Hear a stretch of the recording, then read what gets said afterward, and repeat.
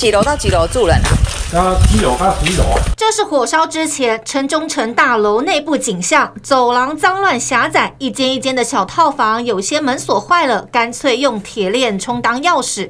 销售中的七平大空间，内部杂乱，有高雄第一鬼楼之称。大会公司，哈哈，啊，无几摊就没落来，就拢拆家啊。就即摆拢徛家。对对。多多几号啊？对的啦。多什么款的啦？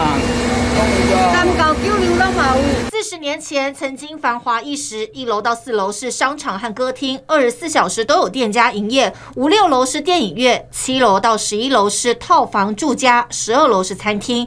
直到盐城区商圈没落，随之而来商场倒闭，大楼缺乏管理人员，公共空间杂乱。今年六月份的实价登录创下一平二点八万，等于只要二十七万块就能买一间套房。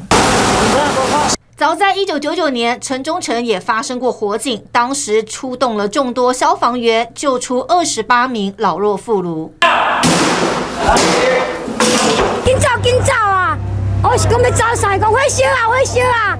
太过便宜的房价，大楼成为不少社会弱势边缘户栖身之处，更不可能有多余的钱支持都更。如今又一场无情火，让这些弱势的人更加无助。